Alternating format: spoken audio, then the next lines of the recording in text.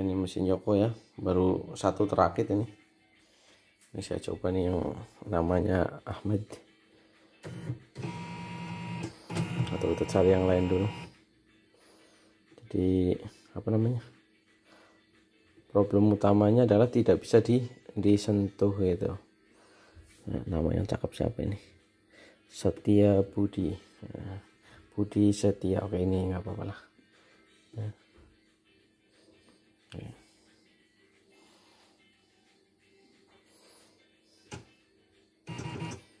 Oke lah langsung jalan aja ya.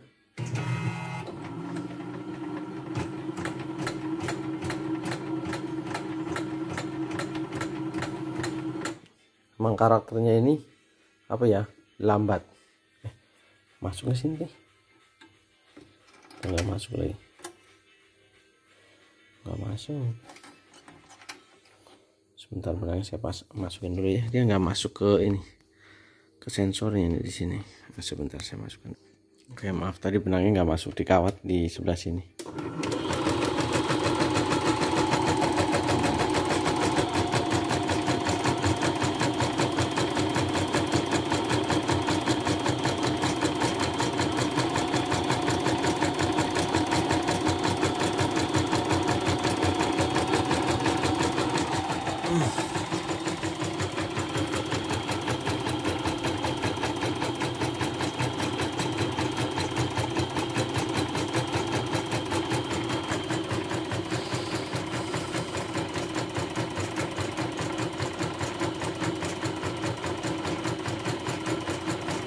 ini sih setelannya sudah bagus ya.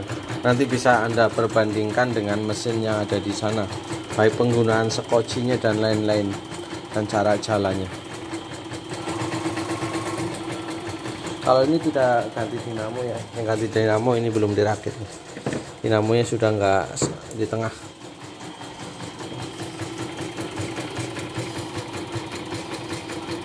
Nanti dilanjut mendekati selesai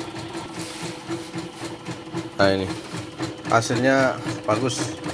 Kalau loncat-loncat dan nggak putus dari awal sampai selesai. Punya kalau mesin sudah di servis di saya saya jamin sih setelannya juga lebih bagus daripada pabrikannya. Hmm.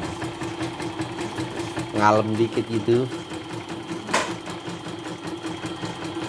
Sorry lama karena itu uh, apa namanya sorry sorry gitu. Uh, LCD-nya datang dulu dari negeri Tong Sang Congnya itu. Dua, dua tiga hari sampai memang DHL dilempar kali dari sana langsung.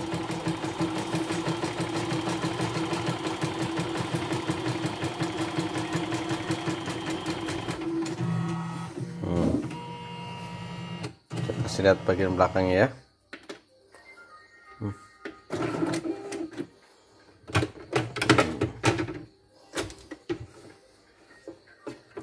nah malah itu copot tuh bongkar lagi nih kayaknya hmm. rapi banget ya oke okay.